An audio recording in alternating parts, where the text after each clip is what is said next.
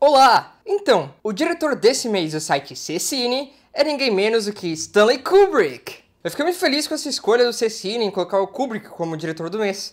É, ele é um dos meus favoritos, então eu fiquei animado, porque eu falei, ah, legal, Kubrick. Então, Kubrick é praticamente um natural cineasta. Ele começou com fotografia, e logo depois do colegial, ele meio que se ensinou cinema. Ele viu muita coisa, leu muita coisa, ele aprendeu muito o aspecto de produção e direção dos filmes. E aí ele falou: Quer saber? Vou virar cineasta. E ele deu a sorte de começar na época de estúdio de cinema, então ele podia ser assistente de várias pessoas até alguém dar a oportunidade para ele de ser o diretor de algum filme. Então, no sistema antigo de Hollywood, ele meio que foi se infiltrando, foi se infiltrando e chegou ao topo. Coisa que hoje em dia é difícil de acontecer. Kubrick é um dos poucos diretores que conseguiu se dar bem nessa transição de filmes de estúdio para filmes contratados, como é hoje em dia, praticamente. E ele se deu bem porque ele era jovem, então, como tava meio que quebrando o sistema de estúdio, ele era novo, então as pessoas meio que davam oportunidade para ele. Então ele foi um dos muitos poucos cineastas que se conseguiu essa transição pro como é o mercado hoje em dia. E depois de fazer parte do sistema de Hollywood e coisa e tal, ele foi para Inglaterra, onde a maioria dos filmes deles foram filmados e era o lugar dele favorito de filmar filme. O próprio Kubrick, ele era britânico. E praticamente todos são poxa, que filmes, hein? Kubrick ele era famoso por ser muito perfeccionista.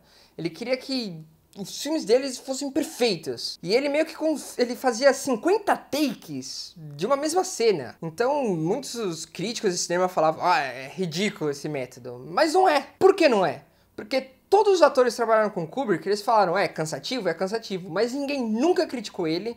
E todos falam que ele consegue colocar o ator numa sensação, num sentimento, num modo de atuar que eles nunca conseguiram antes na vida própria Nicole Kidman, que fez De Olhos Bem Fechados, chegou a falar que depois de tanta repetição, você começa a, a, viver aquela cena de um jeito que ela nunca viveu antes. Então é muito legal, porque todo mundo fala, ah, aquele diretor é um carrasco e nunca mais vai trabalhar com ele. Nesse caso, o Kubrick era um carrasco, mas todo mundo estava muito grato que conseguiu trabalhar com ele. E só prova que o cara é um gênio. Os atores gostavam também em ter as discussões coletivas, em tipo, um a um, one-to-one, face-to-face com o ator e o diretor. O Kubrick adorava andar com os atores dele e conversar filosoficamente sobre os personagens que eles estavam vivendo. Então os atores falaram que isso ajudava muito na composição do personagem. Tanta genialidade não é o suficiente. Stanley Kubrick nunca ganhou o Oscar de melhor diretor. O único Oscar que ele conseguiu foi de efeitos visuais pelo filme 2001, Uma Odisseia no Espaço, em que ele fez os efeitos visuais daquele filme. E não é nem isso, ele já foi indicado ao Framboesa de Ouro por pior diretor pelo filme Iluminado. Eu sempre acho o Framboesa de Ouro uma bosta, porque eles pegam no pé do Stallone. O Stallone é foda. E o Framboesa de Ouro só quer dar prêmio pra ele de pior tudo. Só por causa disso já me irritava. Mas agora, indicar o Kubrick, o pior diretor por Iluminado... É vontade de pegar essa instituiçãozinha, essa piada que já acabou a graça, perdeu a graça, e mandar lá pra Band junto com o Pânico, porque programa ruim de comédia a Band tá cheio.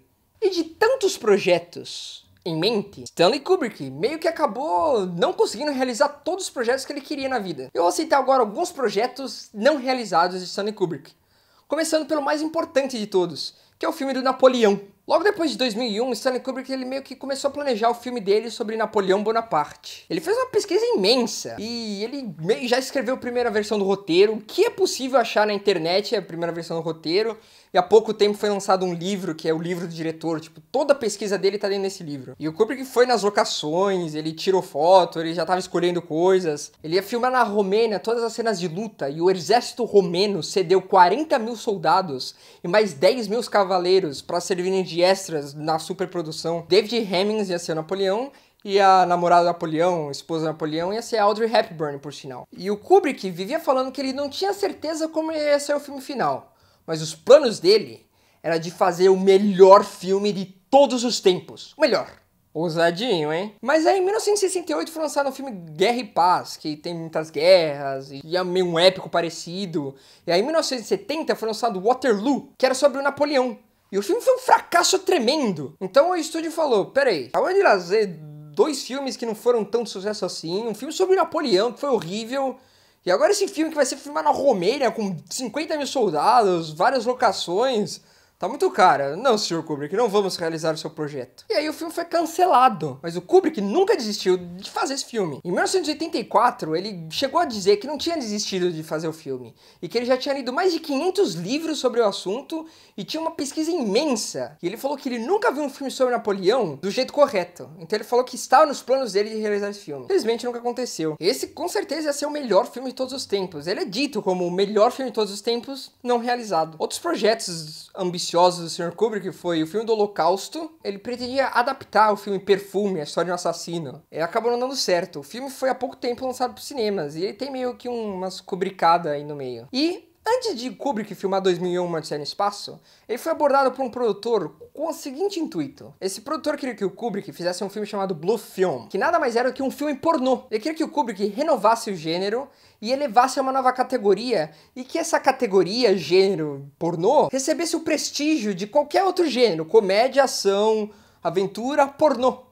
Ele queria que o Kubrick reinventasse o gênero. O Kubrick ficou com medo e falou que ele não conseguiria e não era capaz de reinventar o gênero pornô.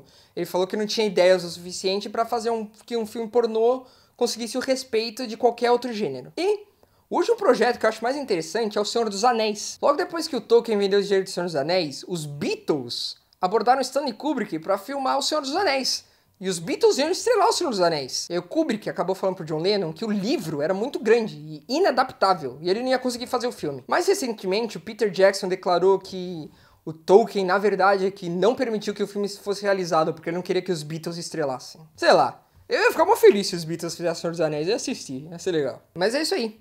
Stanley Kubrick é um gênio e é um dos maiores diretores que já existiram no mundo. Mas é isso aí. Se você gostou desse vídeo, entra agora lá no ccine10.com.br e lá vai estar tá cheio de filmes dos Kubrick durante o mês inteiro. E fora isso tem várias críticas de filmes que estão no cinema agora, várias resenhas, e vale a pena você entrar no site. E agora você também entra no meu canal, se inscreva no meu canal, goste desse vídeo positivo, vê os vídeos anteriores e comenta e me dá sugestão de vídeo. E é isso aí, até a próxima!